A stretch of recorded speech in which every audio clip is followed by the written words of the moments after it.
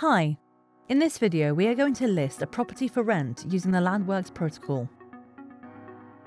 Once you are in the Landworks app, connect your wallet. In our case, we're using MetaMask.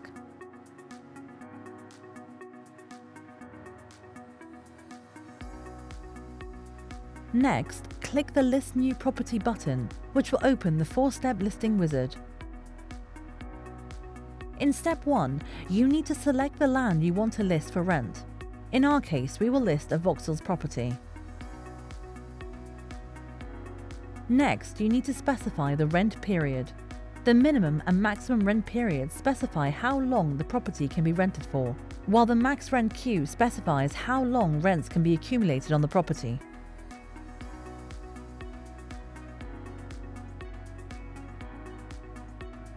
The next step is dedicated to setting the rental price.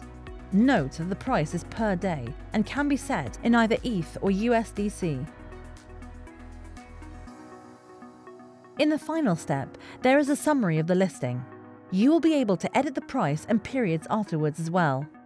Click on Approve to grant access for Landworks to transfer the particular land NFT to the Landworks protocol.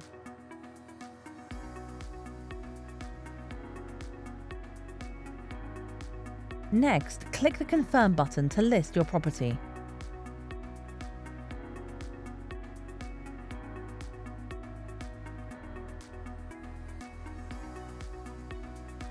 After the transaction is confirmed, your property will be available for rent on Landworks.